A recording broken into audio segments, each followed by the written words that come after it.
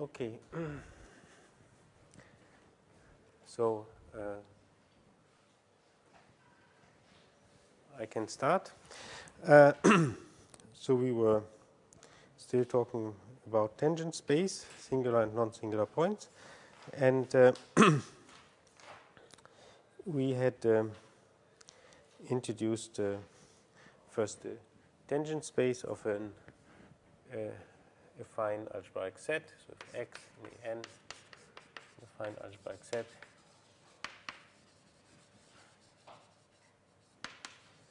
Then we had that the and P is a point in X. We had introduced the tangent space uh, at P to X to be the uh, zero set of all the differentials at P for all f, where f lies in the ideal of x. We've seen this can also be, uh, and this will by itself be a, a sum.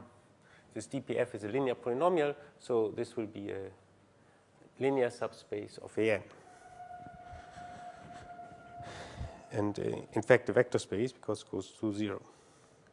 And we had uh, seen that one, uh, and this uh, can also be written as the zero set of, so if, if the ideal of x is generated by some elements f1 to fr, this can also be written as the zero set of the differentials.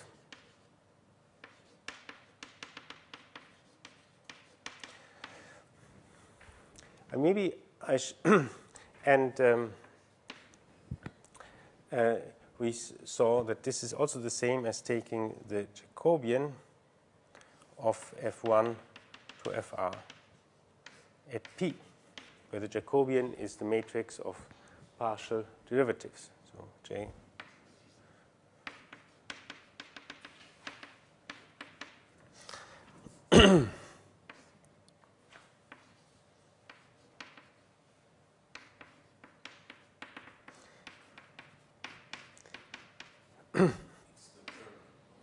what? Yeah, yeah, that's what I meant, obviously. That's what I should have written. So the these this map given by these differentials is the Jacobian and then the kernel. Okay.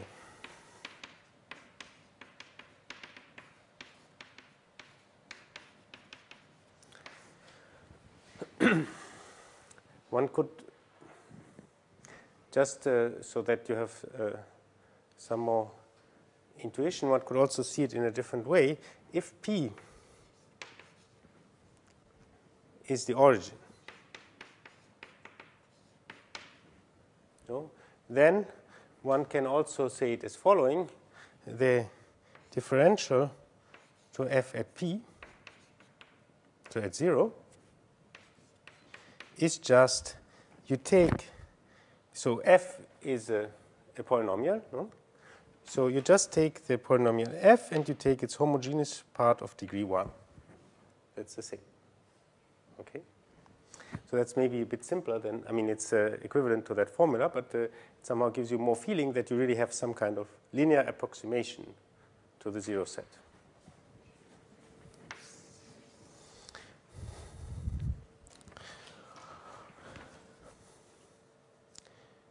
Okay. um, I wanted to. Okay. So we had introduced now another version of the tangent space, um, and I wanted to prove that it's equivalent. So if x is an is just a variety, p in x, uh, then we can define another definition of the tangent space, the more general one, is just we take uh, this to be, take the maximal ideal at P. So I have OP, OXP is a local ring, and uh, MP maximal ideal.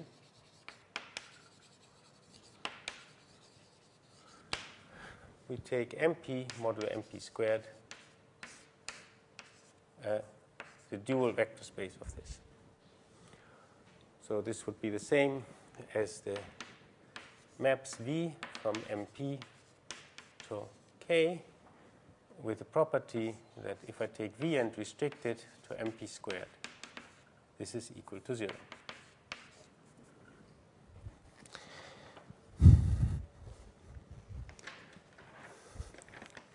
Okay. and now we want to see that this if we have an affine variety, this definition coincides in a suitable sense with the other one. So at least as vector spaces, these two versions of the tangent space are isomorphic. Okay. Um,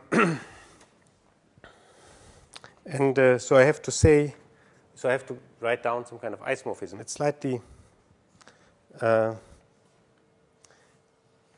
clumsy, but first maybe I'll also write something else. We had uh, for a morphism of varieties, we also had a, a, map of tangent spaces, which we had defined in terms of, I mean, for affine varieties, we had defined the map on of tangent spaces in, in terms of the uh,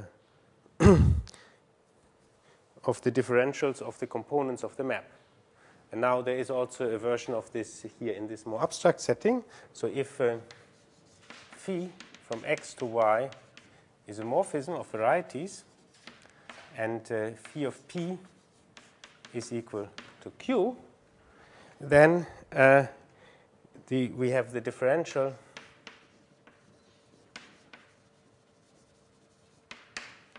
of phi at p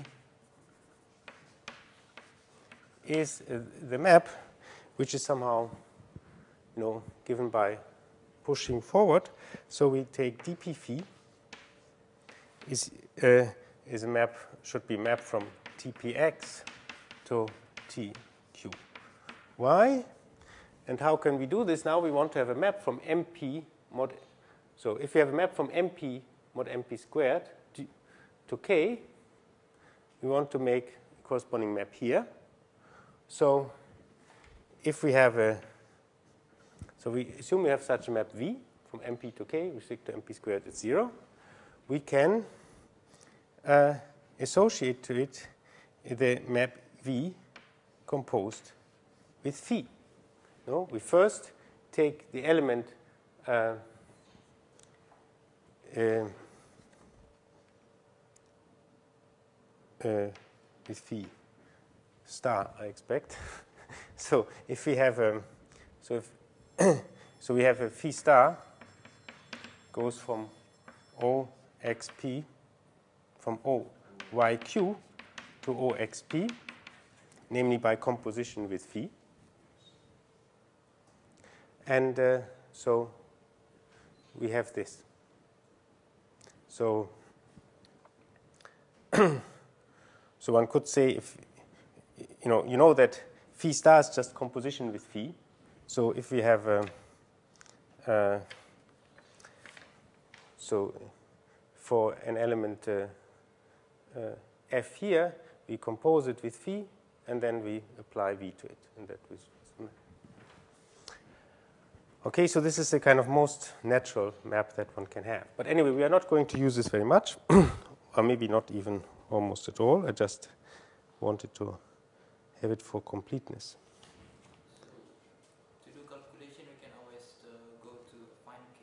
Yeah, yeah. That is, uh, you know, usually when you want to do the computation, then you will need to, uh, most of the time, to go to the affine case because uh, for you know concrete co concrete computations, uh, this is a little bit abstract. So you know we don't know precisely most of the time what MP and MP squared is and so on. So uh, if you have a, variety which is a hypersurface in some affine space or something, it's much simpler to, to work with the other definition. And so you, you can go to the affine case. but if you want to prove theorems, this is much more useful.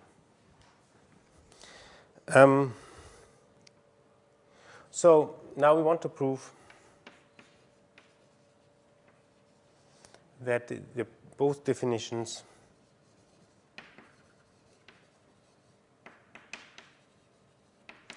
of uh, the tangent space are isomorphic.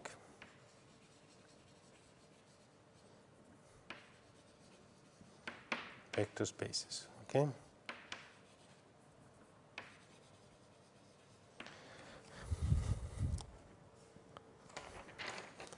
The question is where do I have this? Yeah. and this um, is a little bit, um, I mean, maybe a little bit long, and we afterwards will not refer to it, but at least one can see how it goes. So, um, so I will write for the moment.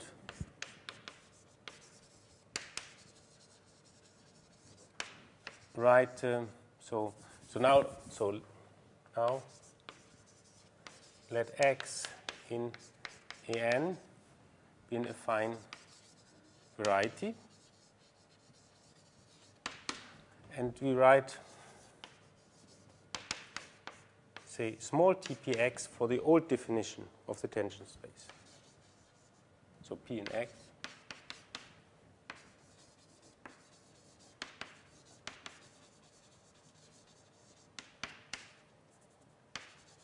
So the one which is given as a zero set of the differentials, that is right now with small t. We want to show that the two t's are uh, uh, isomorphic to each other. So, so first I want to, so I have to define an isomorphism between these two vector spaces. So first, so I make some definition. So, so if f is an element in the coordinate ring of x, then I say I want to, and A is an element in this tangent space, I want to say what the evaluation of the differential of f at A is. So we say define dpf of A to be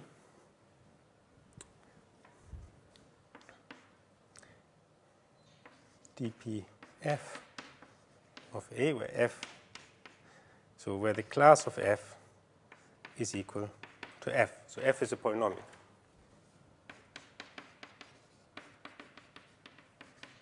So what do I mean by this of A? So if I write A equal A1 to AN, it's just a vector in, in AN.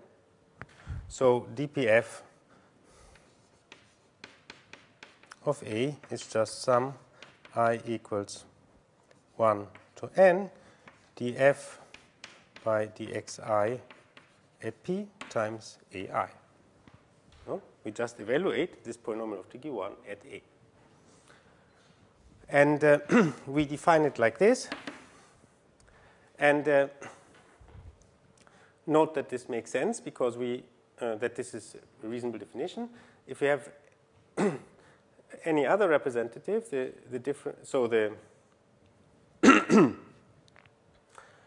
we know that um, uh, the the any two representatives of this element f in Ax differ by an element in the ideal of X. And uh, the elements A in the tangent space are precisely those which lie in the kernel of the differential. So uh, the, this will give the same. Okay, so this is well defined.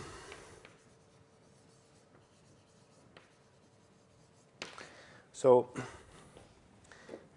but I mean only on the tangent space. And in the same way, so then we can also go to the maximal ideal.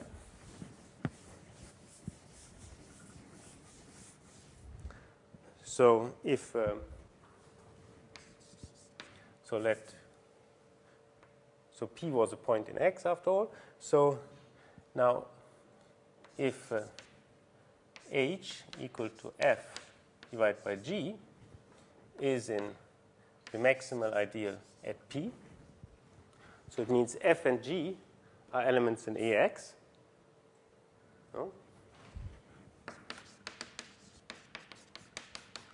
And uh, f of p is equal to 0 and g of p is different from 0. Uh, then we define uh, the pH of A, A is again an element in the tangent space, to be what? to be um, df dpf of A divided by g of p.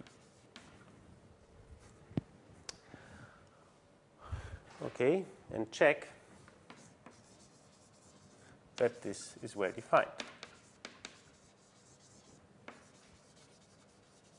So if we have another, if we write f as another h in another way as a quotient of such polynomials, then you know you know what the equivalence relation is. Uh, then you should get the same result for all a. Okay, and you can also check if h is an element in mp squared uh, then dph of A is equal to 0 for all A in TP. This is basically because you can then write it as a sum of products of two such, and then you, you use the, the Leibniz rule, and you find that uh, you get 0. Okay? What? Well, so, so I, this is because I've assumed here that I'm in MP. So in principle, you would, you know, would expect, so, what? H is not a unit. No, no, H is certainly not a unit. No, no, no, but I mean, this formula yeah. is a special case of a formula that you know, which looks quite different.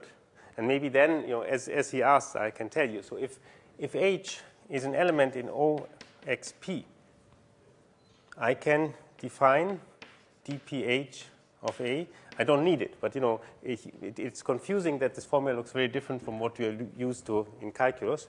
Then I can define this, and this is well defined by the usual formula, which I hope I remember. So dpf of A times g of p minus f of p times dpg of p of a divided by g of p squared.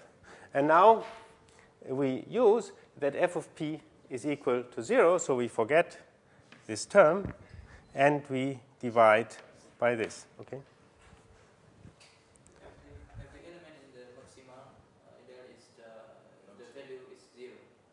Yeah, the value is zero. That's, uh, that is the point of being the maximal ideal.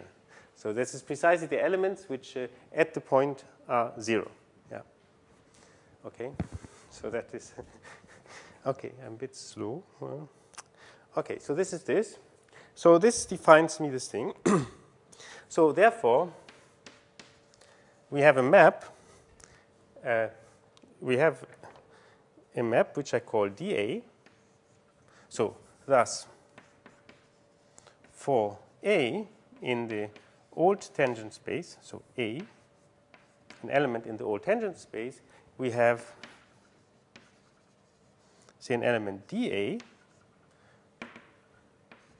MP, if you want MP, MP squared to k, which is therefore an element in the new tangent space of X. Okay, and so we define a linear map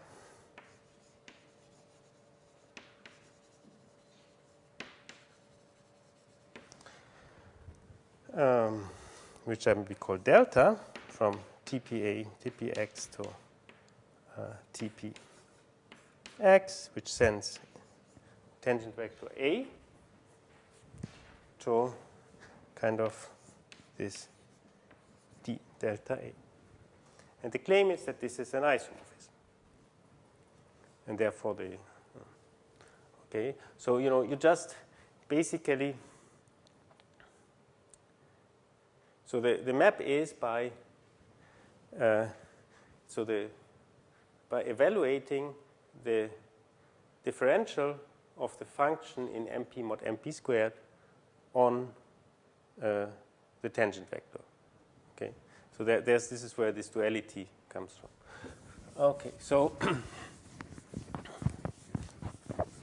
so the, the theorem is so this map delta is an isomorphism.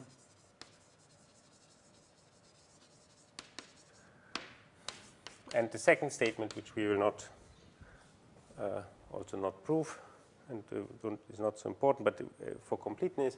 So using delta to identify uh, TPX and TPX, we find that uh, the two definitions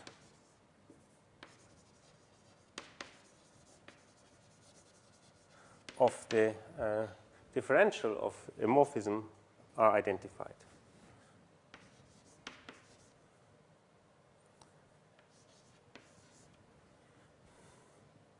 So for phi from x to y a morphism are identified. Okay, so if you you I think you understand, no? So you know basically you have the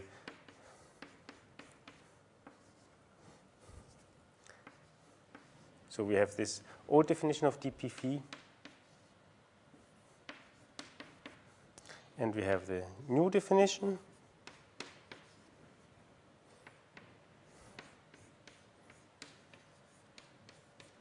This is the new definition of dp phi, and here we have in this diagram commutes. Okay? That's what I mean by, by these words.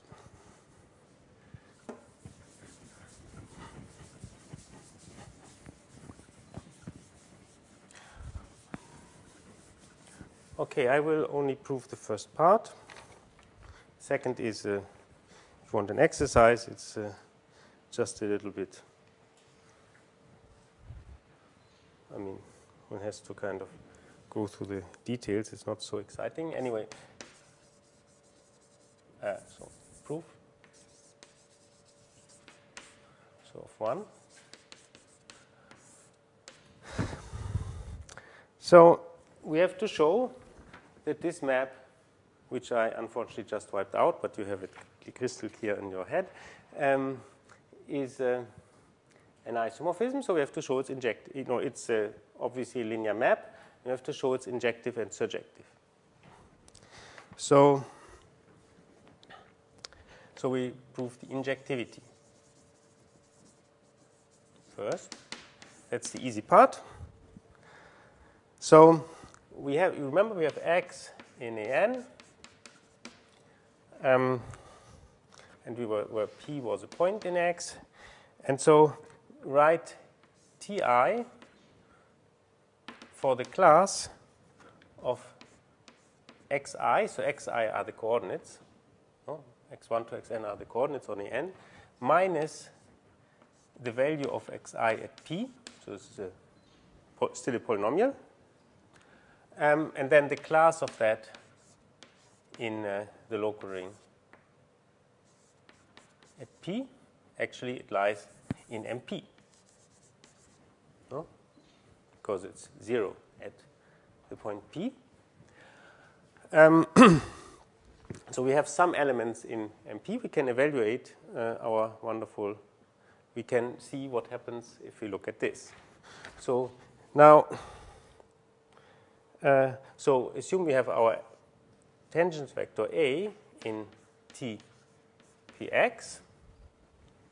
So then we ask ourselves if we take um, delta,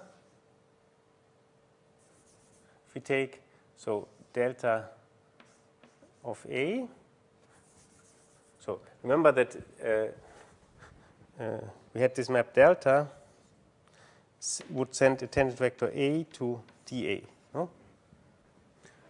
So if we take dA and apply it to xi, what is it? So we are supposed to take the differential of xi, uh, of ti. So we are supposed to take the differential of ti and apply it to a. So the differential of t, ti is just you know, the class of xi. You apply it to a, we get ai. Okay. So thus, uh, if uh, a is in the kernel of this delta, there's dA is equal to 0, then it follows that all AI are equal to 0. Okay, simple as that. Now, for so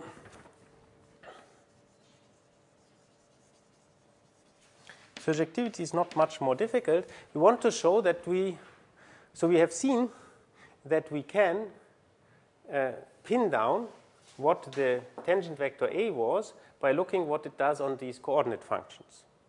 Now, in order to prove the surjectivity, we have to see that if it does it the correct thing for the order coordinate functions, then it is the correct tangent vector. Okay, so uh, therefore, uh, we will uh, we want to show that somehow the tangent space, uh, the MP mod MP squared, is generated as a vector space by these Ti. And then it follows. So, so to show surjectivity, it is enough to show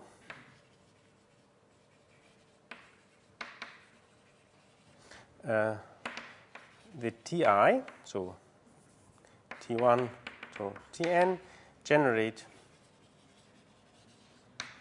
generate uh, MP mod MP squared as a vector space.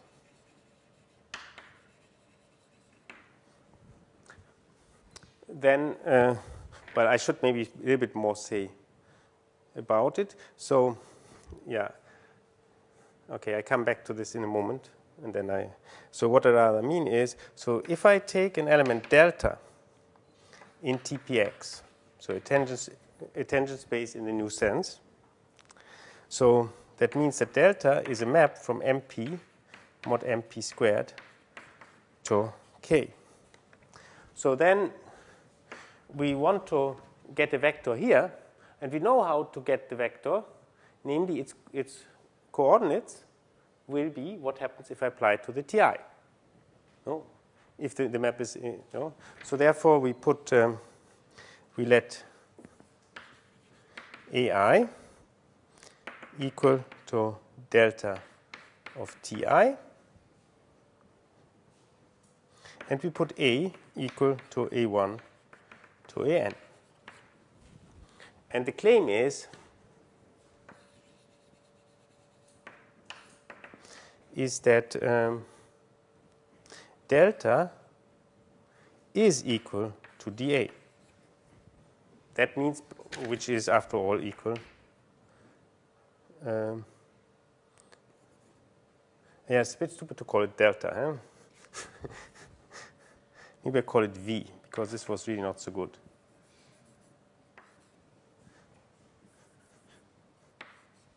Okay, so so in other words, that V is equal to delta of A. So the map is surjective.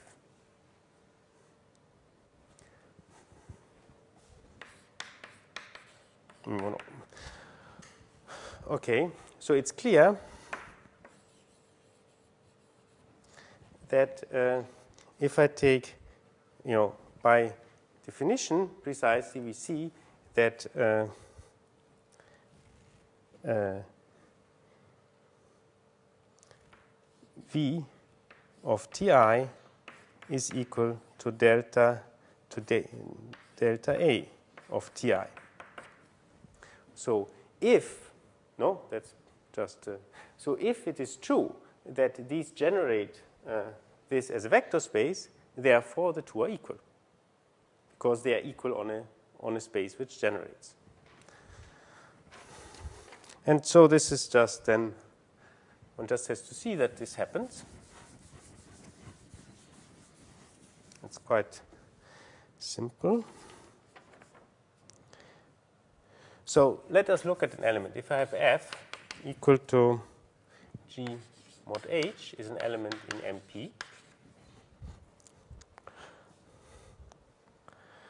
then I can write f. If I write f minus g divided by h of p. No, this is just a, so as usual when I write it like this, it means that g of p is equal to 0 and h of p is not equal to 0. And here you see I've just taken, this now is just a an element in ax because this is just a number if I take this, I can put it on a, uh, you know, I can write this as g h of p minus h divided by h times h of p. Just put it on the common denominator. But what you see here is this thing is 0 at p, this thing is also 0 at p. So this is an element in MP squared. Okay, so thus, if I replace, so in every equivalence class in MP mod MP squared, there is an action element in AX. So thus, MP mod MP squared is generated by classes of elements in, say, A of x. So I don't have to look at quotients of polynomials. So, but it's clear by definition that AX, you know, the, uh, the xi are just the coordinates. And if I make the shift, you know, by, um, so if I, you know, if I make uh, the shift here, these are still coordinates of an, however, you know, just shifted. So the, the, so kx1 to xn is also generated by, by these shifted ones. And therefore, ax is just a polynomial, is also generated as a ring by the Ti. So I have that Ax can be written as K T1 so Tn. It's you know just it's given by all polynomials in the Ti. I mean, it's, I don't say it's a polynomial ring. You know, there are some relations between them, but it can be written like this. It's a ring generated by these. And uh, uh, a polynomial of degree uh, bigger equal to 2 in the TI. So a homogeneous polynomial, well, say a monomial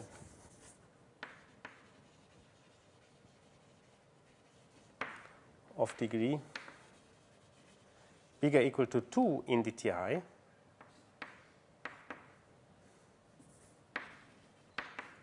will lie in MP squared. No? Because I know the Ti lie in MP. No? It's uh, in the maximal ideal. So if I take multiply two or more together, we lie in MP squared.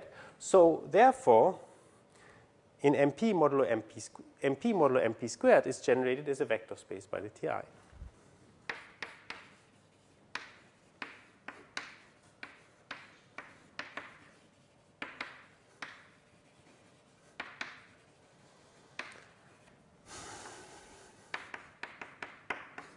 So this uh, proves it. It's maybe not so extremely illuminating, but at any rate, we find that um, uh, these two definitions of the tangent space are equal.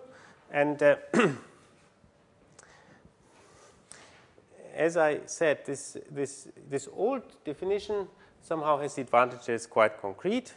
You can also view it as saying you just take a linear, you know, linear approximation of your uh, variety, just taking the zero sets of uh, the first order part of your uh, uh polynomial. And uh, the, so that's kind of very concrete. On the other side here, this is, uh, will turn out to be quite useful also because it's very similar to you know, what you, how you view things in differential geometry. It is very reasonable to view a tangent vector as something which acts on functions. You know?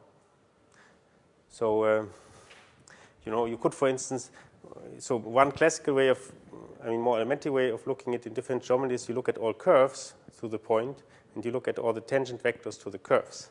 So the, so the derivatives along uh, the direction of the curve. I don't know which one uh, Arezzo uses, but anyway, there are several versions of defining tangent vectors, and uh, uh many of them involve somehow. Uh, so to say it one last time, a tangent vector is in some sense something uh, is the same as the operation as taking the derivative along that vector. Okay, and so here we have the tangent vector as a, you know, in the old definition as a kind of vector in some vector space in which the variety is a subspace, and uh, this new definition is translates it into taking somehow the derivative along the direction of, of regular functions along the direction of the of the tangent vector, and these are equivalent viewpoints on the same thing. Okay, so maybe that's enough. Now we want to just do a few more. Uh, ah, so first, now we want to prove to generalize this result that we had in the beginning. We had proven that for if we have a hypersurface, then the non-singular points form an open dense subset. And now I want to prove that this is true for any variety. So the non-singular point, non-singular points form an open dense subset. so that every variety is almost everywhere smooth. So this is the following theorem.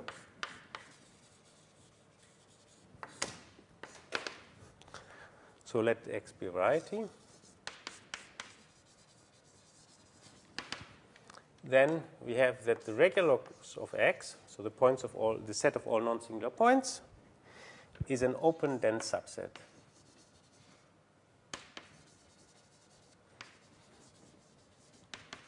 of x. So, and then along the way we prove another statement, namely for all points p in x, we have that the dimension of the tangent space of x at p is bigger equal to the dimension of x. So you recall that in the definition of non-singularity, we had that a variety, so a point is a non-singular point at a variety if the dimension of the tangent space is equal to the dimension of the tangent space. Now, if you have a singular, a singular point is therefore a point where it's not equal. But the statement here is that if it is not equal, it must be bigger. So the dimension of the tangent space can never be too small. It can only be too large. Okay?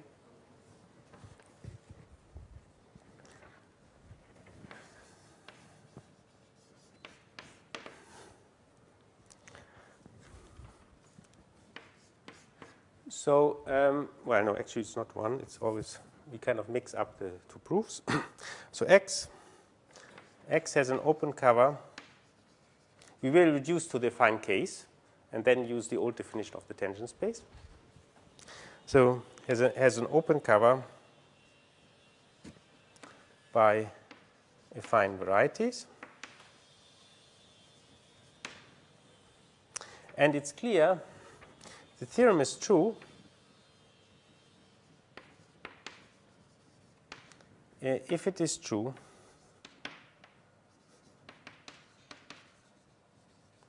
for each open set in the cover.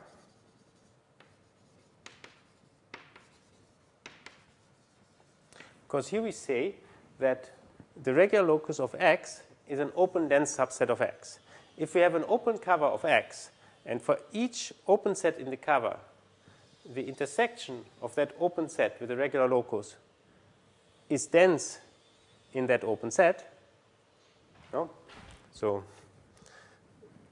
then uh, X-reg is open in X, open and dense in X, because uh, you know you can check such things by checking it for an open cover. And uh, this statement is also, you know, is also true. Here I'm just saying something about, about every point in X. The dimension of the tangent space of X is the same as the dimension of a tangent space uh, at P of an open subset of X, because you know it only depends on the maximal ideal at P. So we can, uh, in order to check the theorem, it's enough to check it for each open set in an open cover. And we take an open affine cover. So therefore, we can assume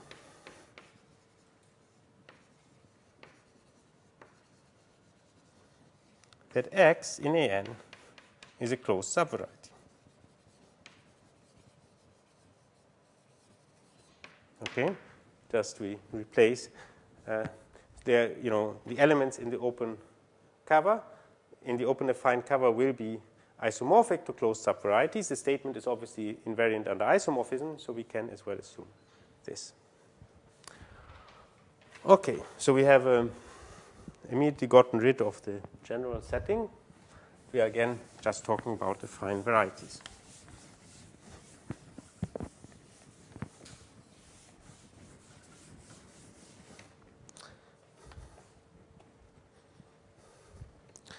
So, so let's uh, assume that say f1, the ideal of x, is equal to the ideal generated by some elements f1 to fr, where the fi are some polynomials. Then we know that the dimension of the tangent space of p of x uh, well, I just write down first, this is equal to n minus the rank of the Jacobian of f1 to fr.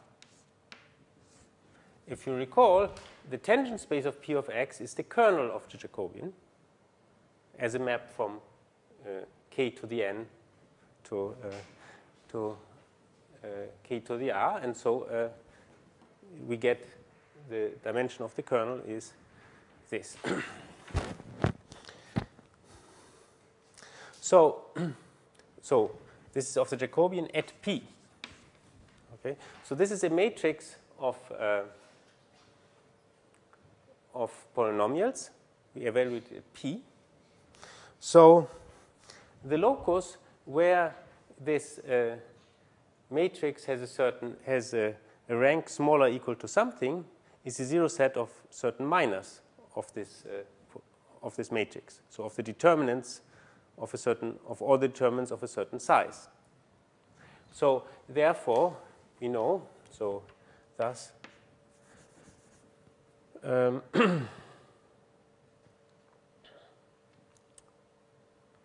uh, thus, so if we look at the, so that's for all d, xt is a set of all p and x, which I define to be a set of all p and x, such a dimension of tpx is bigger equal to d is the, uh, the size uh, is the zero set of certain minors of this matrix, so it's closed in x.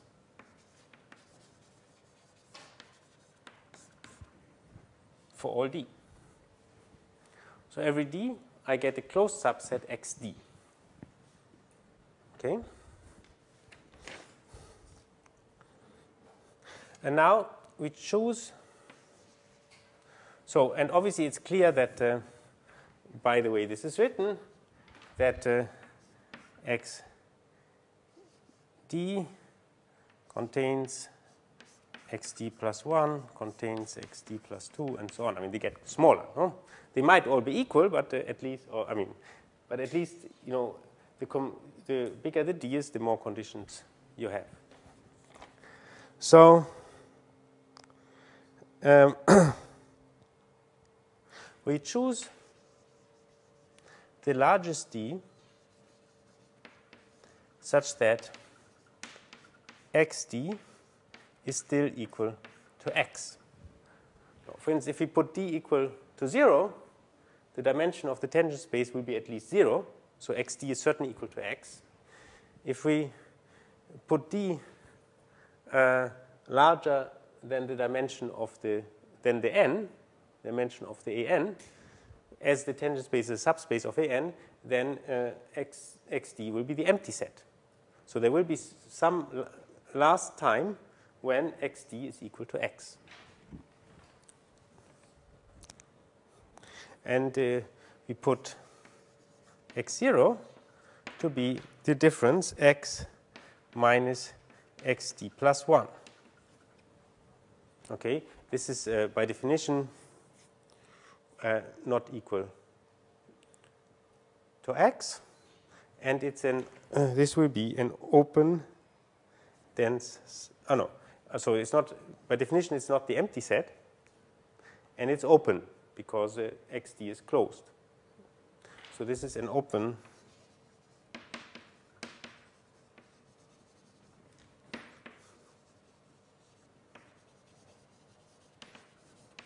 There's an open subset of X because a complement of this closed subset, and it's dense because it's a non-empty open subset.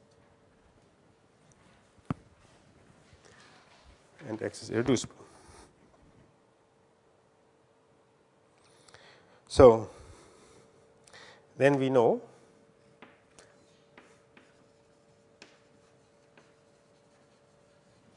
by our definitions the dimension of the tangent space of x at p is bigger equal to d for all p in x because uh, you know we have chosen d to be the largest one such that xd is still equal to x. So for all p in x we have the dimension of the tangent space bigger equal to d. And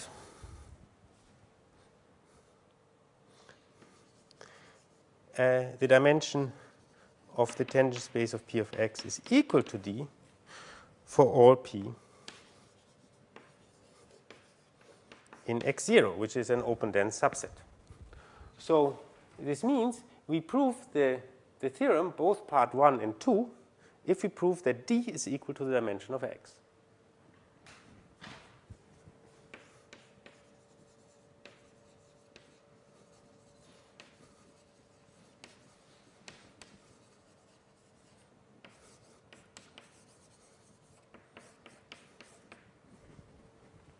Because then it precisely says for all points in x, the dimension of TPX is bigger than bigger equal to the dimension of x, which is part two. And there's an open dense subsets where the dimension of the tangent space is equal to the dimension of x, which means there's an open dense subsets where x is smooth, uh, which is part one. Okay, so we only have to show this.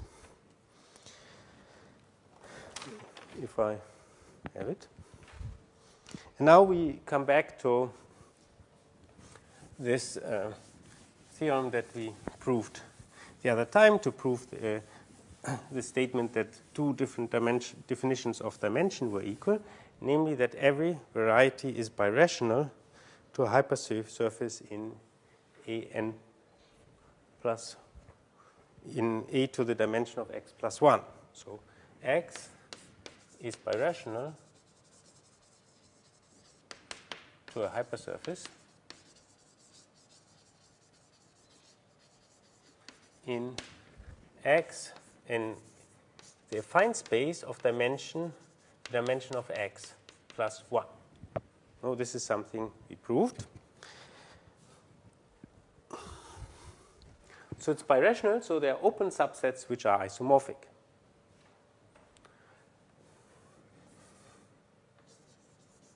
So that U in X be a non-empty open subset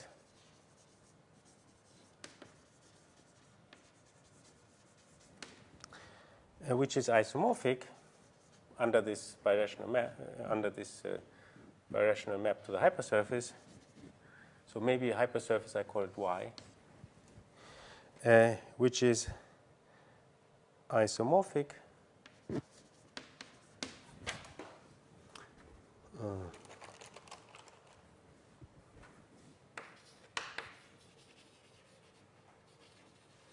say to an open subset of, say, the regular locus of y. So you have to remember that uh, so that x is birational to a hypersurface y in x plus 1. There is, it means there's a non-empty open subset u tilde of x, which is, which is isomorphic to an open subset of y. But we know if we have a hypersurface, we have proven that it contains an open subset that the, the regular locus of y is an open subset. So we intersect this open subset of u, which is of, of y, which is uh, birational to the open subset here, with, uh, with the regular locus, we still have an open subset, and we can find an open subset of x which is isomorphic to it. Okay? But now we know that y has dimension, the same dimension of x. And this is a, so if I have a point P in y, the dimension of the tangent space is the dimension of x. So, um, so then the dimension of TPX is equal to the dimension of x for all points P in U. But now we have, uh, so U is an open subset of X, a non-empty open subset of X, and X 0 is a non-empty open subset of X. So X is irreducible, any two non-empty open subsets intersect. So we have U intersected X0 is non-empty. So, but on the other hand, the dimension of the tangent space for every point of u is the dimension of x. And for every, so dimension of tpx, on the one hand side, it's equal, because we are in u, to the dimension of x. So p is in u. And on the other side, so let p be an element in u intersected x0. As p is in x0, it is equal to d. So obviously, it follows that d is equal to the dimension of x. And that proves it. Okay, so it's um, not so, uh, you know, but okay, so in some sense, if you think of it, the proof is not so uh, very complicated. You just have to, uh, you know, you have this kind of trick how you reduce it to the hypersurface here and then uh, still. Okay, so we know now that um, every variety has an open dense subset which is non-singular.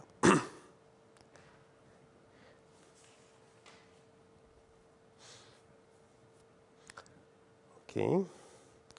So I want to, I mean, make a, one last uh, statement about this. is about how one uh,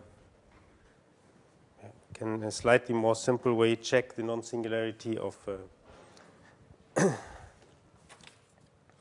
of a variety by, I mean, I will maybe just be a bit brief because it's not so exceedingly exciting.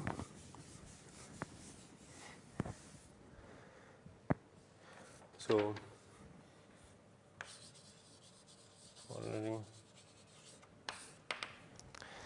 Uh, So if X is a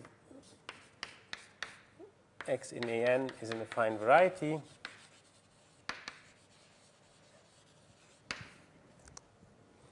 and uh, Ix is generated by F1 to Fr, we find that um, P in X is non-singular if and only if the rank of this Jacobian at P uh, is uh, bigger equal to n minus the dimension of x. okay, and this is uh, this is clear because uh, I mean by definition, the dimension of the tangent space is n minus uh, this rank. So by definition, it's non-singular if and only if uh, here we have equality. But we know by what we just proven that the other inequality is true. We know that the rank of this is smaller equal n minus d x. So if we have this, then they're equal. Okay, and the second statement is the same in the projective case.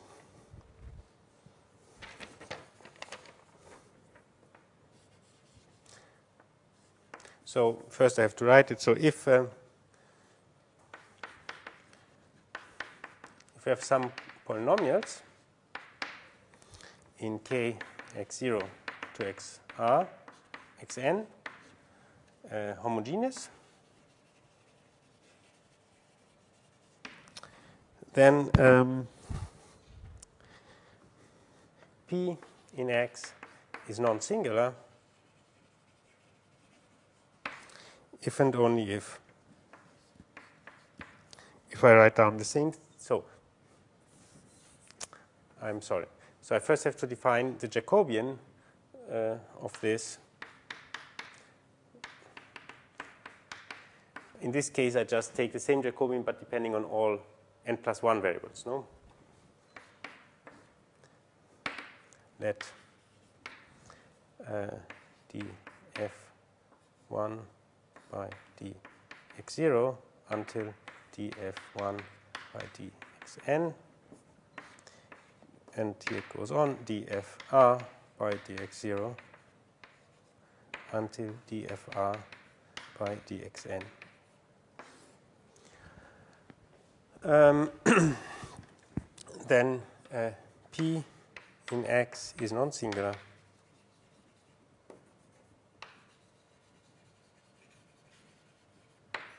If and only if.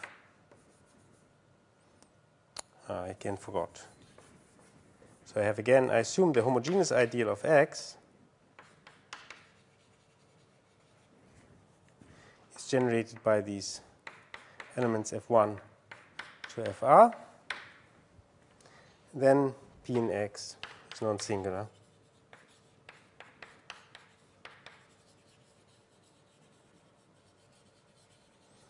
If and only if the dimension of um, the, the rank of the Jacobian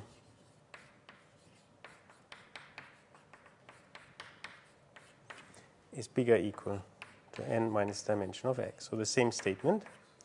It's a slightly more complicated if you think of it, because uh, you know here we actually, I mean, we are in the projective case. We have to somehow reduce to the affine case. So you kind of, if you you can assume that our point P lies in the open subset U0, so the first coordinate is one, and then you uh, can express uh, this Jacobian in terms of the Jacobian of uh, these. But it's still a little bit tricky because you actually have now one more, the, this matrix is slightly larger than, uh, than what you would think. So you could worry that this, the rank of the matrix might be too large.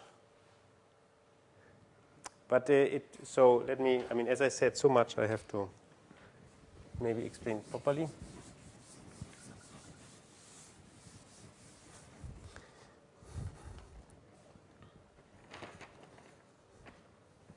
So, so it's uh, we can assume that P is of the form 1 a1 to an, no, and this is a point in, in an, and we put um, fi x1 to xn to be the large fi of 1 x1 to xn. So we dehomogenize. and then we know by definition that P in X is non-singular if and only if it is non-singular as a point of the intersection of X with the n. No? So that means if and only if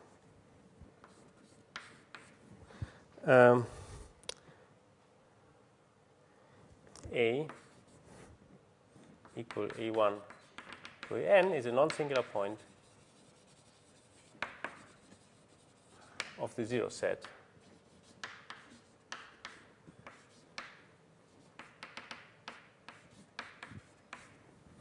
Of this, which is which is just uh, which is just equal to x intersected with a n.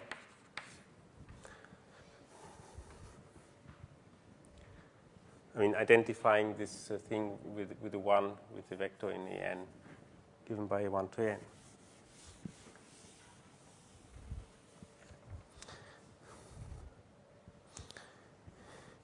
And uh, if you look at it, if we take dfi by dxj for j from 1 to n, at the point uh, uh, 1 a1 to an.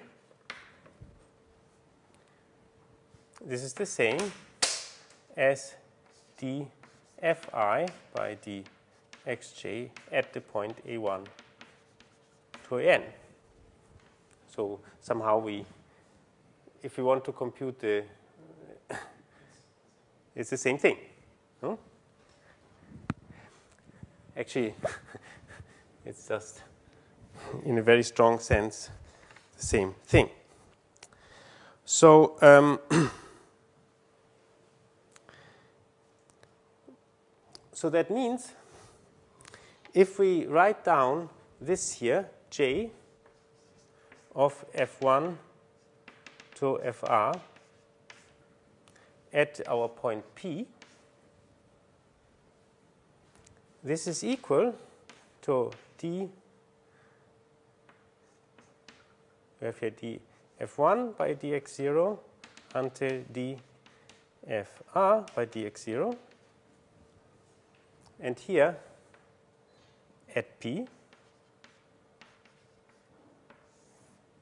and the rest is just j of f1 to fr at a matrix looks like that. So, by definition,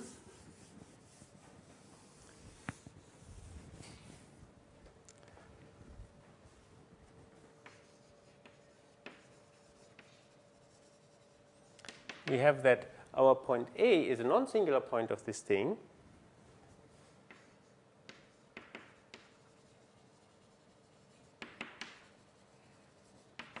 if and only if um, the rank of G of F1 to Fr of A is bigger or equal to n minus the dimension of x. Now, and you want to claim that the same is true for this bigger matrix. So we have to see that the matrix does not, the, the rank of the matrix does not get larger when we add this uh, row.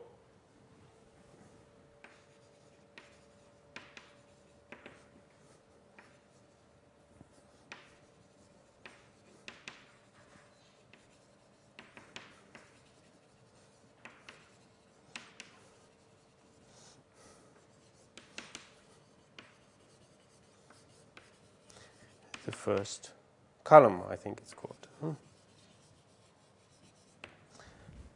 Well, and so that means we want to show that the first column is a linear combination of the other columns. And this follows from Euler's formula. I actually didn't want to explain it, but as I started, I cannot leave it hanging like that. So, so we have uh, the Fi a homogeneous of some degree.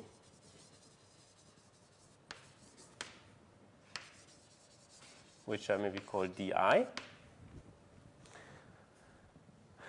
And um, so there's Euler's, there's the well-known Euler formula, which says that if you take sum j equals 0 to n, xj dfi by dxj, this is equal to di times fi. This is a formula which, uh, you know, is, I mean, some, you know, it's a, some trivial calculation that this will be true. No? If you make this derivative, you, multi, you, you can just see that the factor di, you know, when you make this partial derivative, the factor di comes down and you lose 1 xj. I mean, it's not, uh, so that's anyway is the statement. And so, um, so therefore, if you take dfi by dx0, this can be expressed in terms, uh, so say at the point p. So remember that p is equal to 1 a1 to an. So so I put p here, the coordinates of p for the xj. So, and I bring this one to the other side. So then this will be equal to sum i, do I want i? Uh, j equals 1 to n ai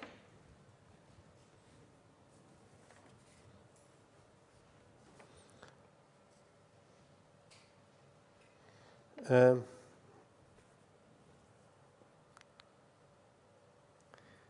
dfi by dxj.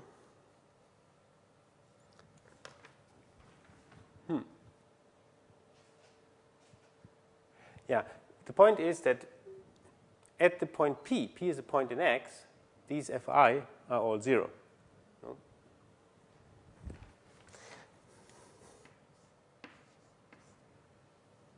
It looks like that, except there's a minus. No, I have that the sum of all of these is equal to, to 0, and I bring this on the other side. So that means, in other words, that the first column, uh, the first column is a linear combination of the other columns.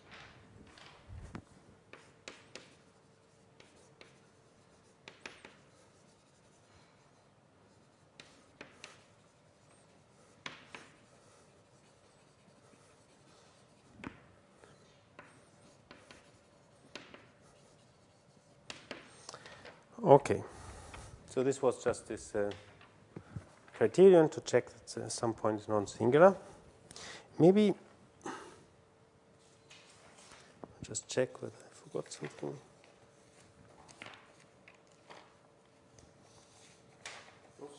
Yes? what is the Euler formula The Euler formula, well, it's precisely this formula. So if you have a homogeneous polynomial of degree d, then if you take this sum of the partial derivatives multiplied by the variable, you get the degree times the function. okay, that's what I call the Euler formula. Okay, okay, and you know it's uh, you can if you have some doubts about it, it's an exercise. You know, it's something that one usually does as an exercise in the second uh, year of uh, analysis. It's just some form, or even in the first year, it's some formal manipulation. Because we have Oh, there are many Euler formulas. I mean, uh, Euler is uh, maybe the most, uh, I think, the, he might be the mathematician who published the most, and uh, he was very much into formulas. So, I mean, in principle, if you say Euler formula, I can think of, uh, uh, well, at least a handful of things which I call, would call Euler formula. This is maybe the easiest thing which has that name.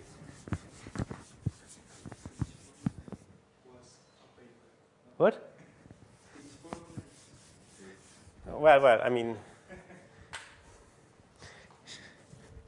I think uh, you know you have basically a whole uh, drawer full of uh, his, you know, collected works. I'm not even sure whether everything. How can you prove, I mean, publish more than 800 papers?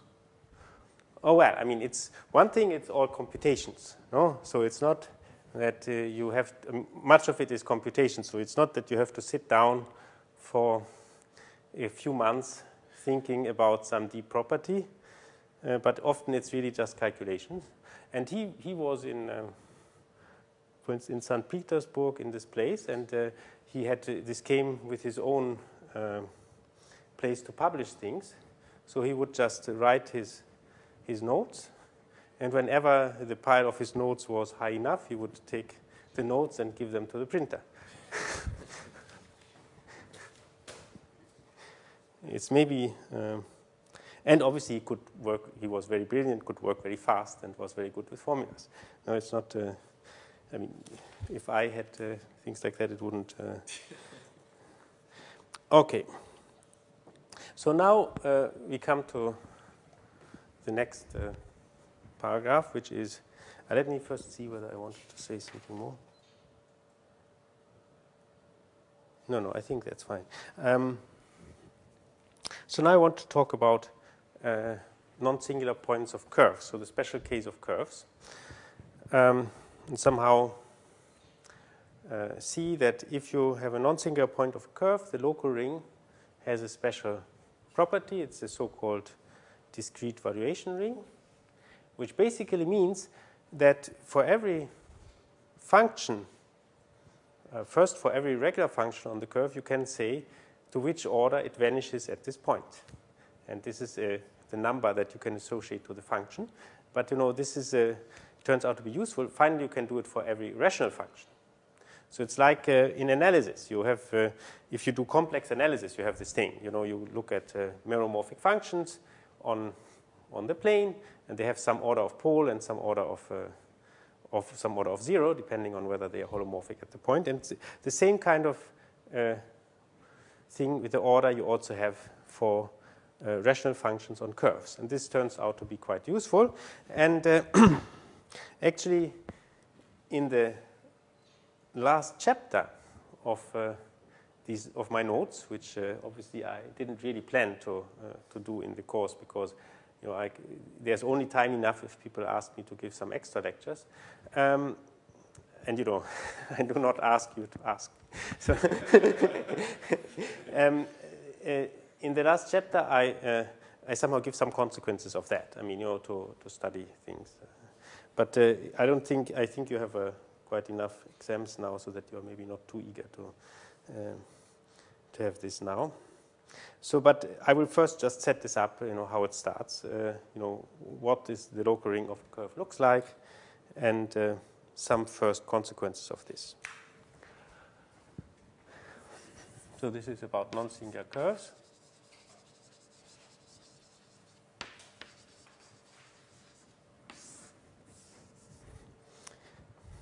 So uh, now in this section, we want to talk, uh, so we want to say a curve is supposed to mean uh, just a variety of dimension 1.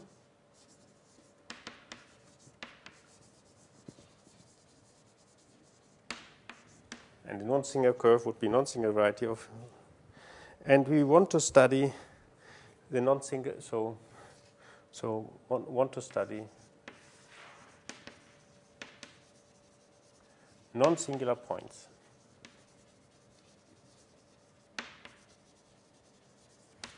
Uh, of curves. C. And uh, as I said, the special fact that we will find is that the local ring uh, at this point is a so-called discrete valuation ring. So first, uh, I have to again talk a little bit about modules. So recall the definition of module over ring R, ring maybe A. I'm not sure whether I, I mean it's very as you remember the axioms of a module over a ring are precisely the same as the axioms for a vector space over a field only that we replace uh, you know the field by a ring um, so that means you have so associativity for the so we I can just at least say it means you have a, a is a ring M is an abelian group and you have an action um, from A times M to M, uh, which satisfies uh, the usual actions, which I maybe briefly write down again. So if you have, so if I, if something is A, it's an A, and if something is with an M, it's an M.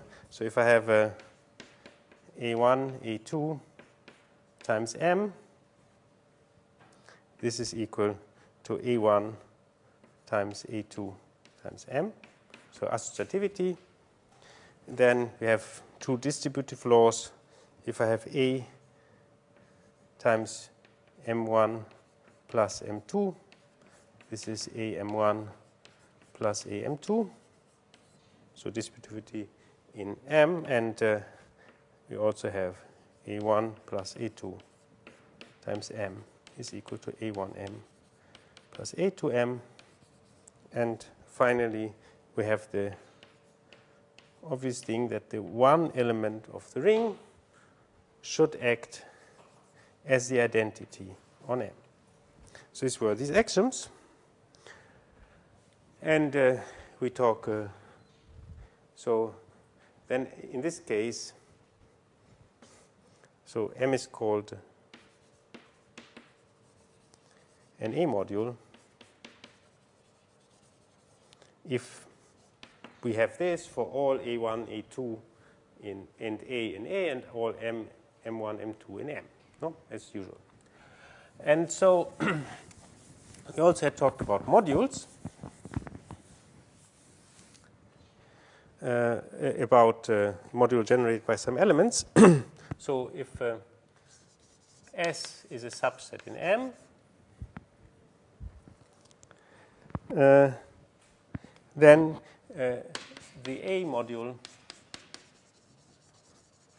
generated by S is a set of all linear combinations of elements in S with coefficients in A. So is uh, the set which I call S, which is the set of all A1 S1 plus plus an Sn for some n. And uh, the ai are elements in A, and the si are elements in S.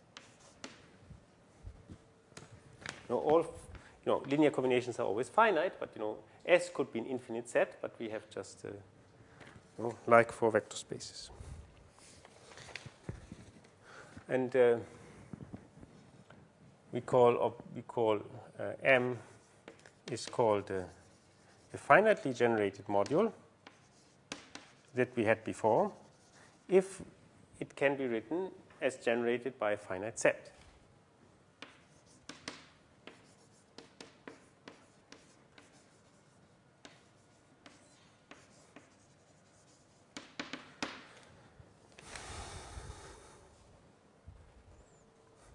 And we had to also recall that we know that if we have an ideal,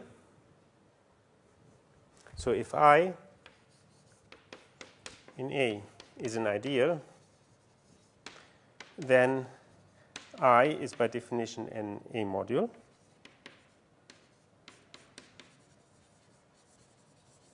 in the obvious way by multiplication in A, and its generators as an ideal are the same as its generators as a module.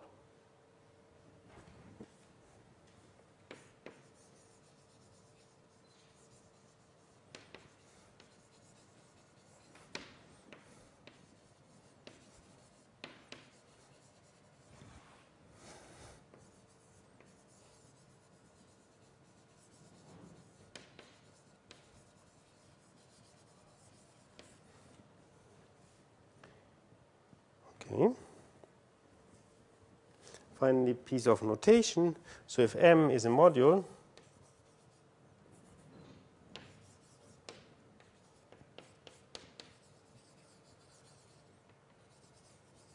and I in M in A is an ideal, we can write IM to be uh,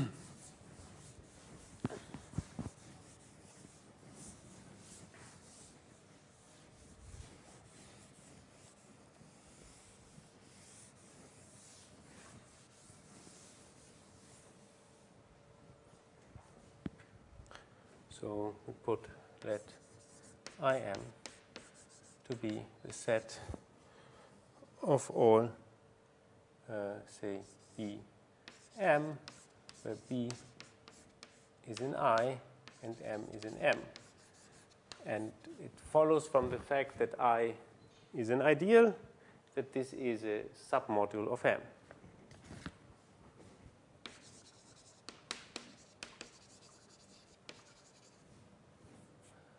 A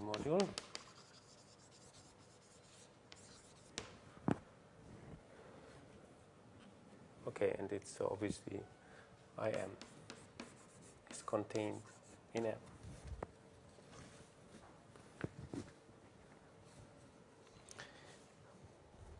Now uh, I want to at least state the first result that we need, which is uh, the lemma of Nakayama.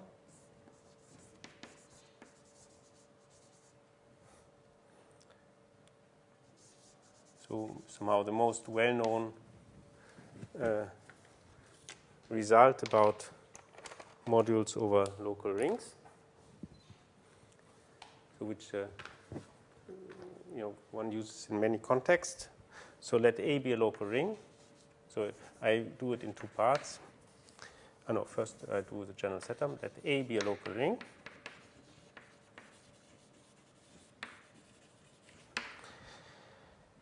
with maximal ideal M in A maximal ideal.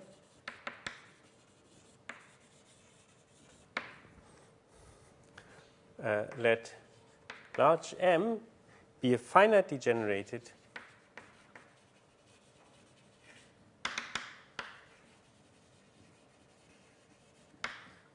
A module. So the first statement is I mean, here I've said that if I take these products, by definition, if I multiply with all elements of A, I will land still in M. So I know that IM is contained in M because I is a subset of A. But it could, one could imagine that it happens that IM is equal to M, that it doesn't get smaller. So if I do this for the maximal ideal, so if it is true that M is equal to the maximal ideal times m. So can this happen? The answer is no. If this is true, then m is 0. Okay? And uh, the second statement is somehow a corollary. Uh, if you write, so M, A is a local ring. So if you take A divided by M, it's a field. No, it's M is the maximal ideal. So write K equal to A modulo M. So assume we have some elements F1 to FR in M. Be some elements. So we know. So assume we have such elements F1 to FR in M, such that their classes f1 to fr uh, generate this quotient m modulo mm as a k vector space.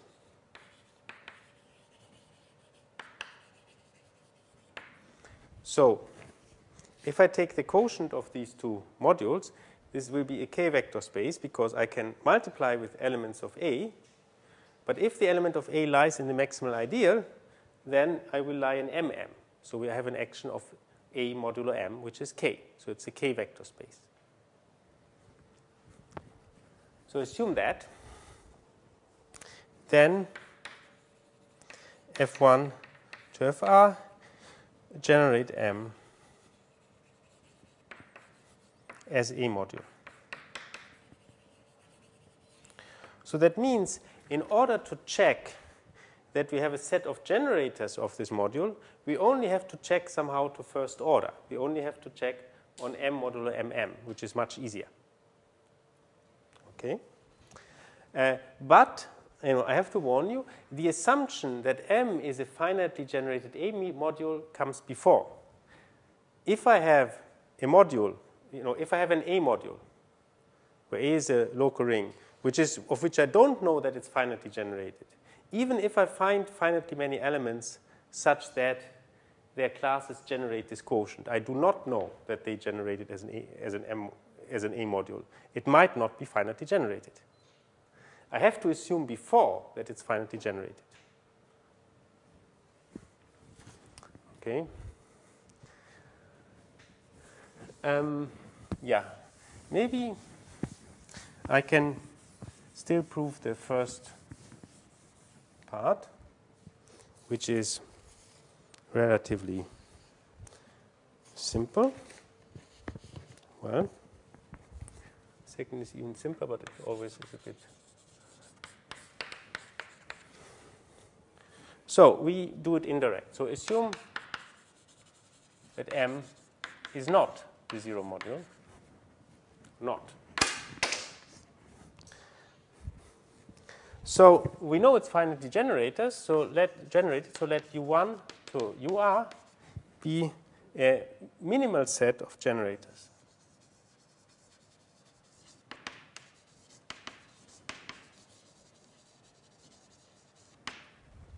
of M as a module. So we know there is a finite set. There must be a set with the smallest possible number of elements. No? And uh, we will want to bring this to a contradiction. We want to find a set with one less generators, a, a set of generators which is one smaller. So we, we note that the last one, UR, is an element of M, which is equal to M times M, according to our assumption. So that is, we can write UR as in a combination of uh, the UI with coefficients in M. So sum i equals 1 to r mi ui. No, because can write any element as linear combination with coefficients in A, and then now we multiply with elements in M, and so we land in M, because uh, M is an ideal. In the maximal ideal. So I can bring this to the other side. So I get 1 minus mr times ur is equal sum i equals 1 to r minus 1 mi ui. No, that's uh, simple enough. But the point now is that this element is a unit.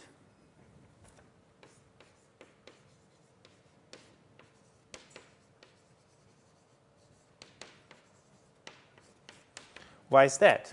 I mean, either it's a unit or it's not, or it lies in the maximal ideal. We have a, a local ring.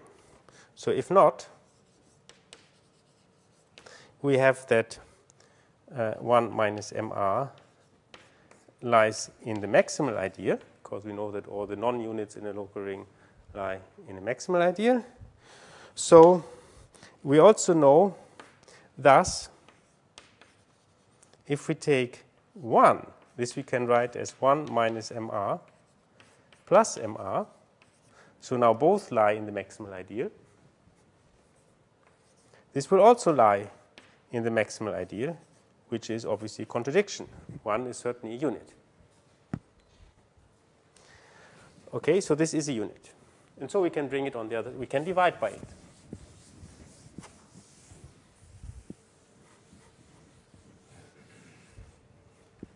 And so we get uh, UR is equal to sum i equals 1 to r minus 1 mi ui times 1 minus mr to the minus 1. Or if I want, I can write it like this. So this is, uh, you know, some. Uh, so now we see we have written ur as a linear combination of the other ui's. So thus, already u1 to ur minus 1 generate the ideal, generate m, which is a contradiction. Okay, we have started with a minimal set of generators. We found one which contains one less element. And so this is impossible. And this proves the first part. The uh, second part we will do uh, next time. And then we will see why this uh, should help us with our business. I think we meet again on Monday. I will also hope that I can correct your exercises finally. I was a bit busy recently with other things. Okay.